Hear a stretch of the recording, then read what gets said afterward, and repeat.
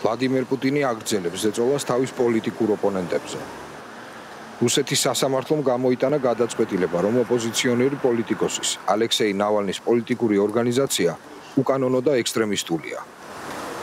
ახალი დადგენილება ძალაში დაუყოვნებლივ შედის და გრძალავს იმ ადამიანების სახელმწიფო სტრუქტურებში დასაქმებას, რომლებიც ნავალნის კორუფციის ბრძოლის ფონთან არიან დაკავშირებული.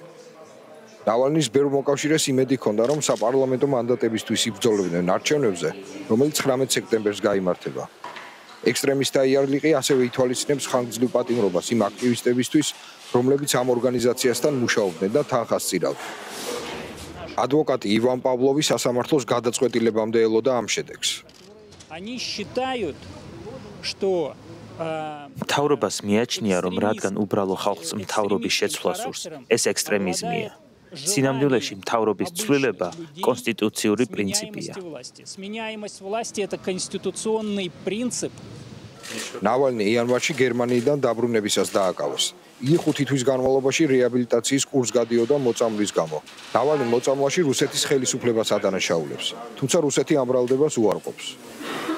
თებერვალში ნავალნის 2 წლითა და 6 თვის ვადით პატიმრობა მიუსაჯეს, რადგან მან 2014 წლის საქმეზე პირობითი მსჯავრით გათვალისწინებული პუნქტები დაარღვია. ნავალნის შეფასებით ეს გადაწყვეტილება პოლიტიკურად მოტივირებული იყო.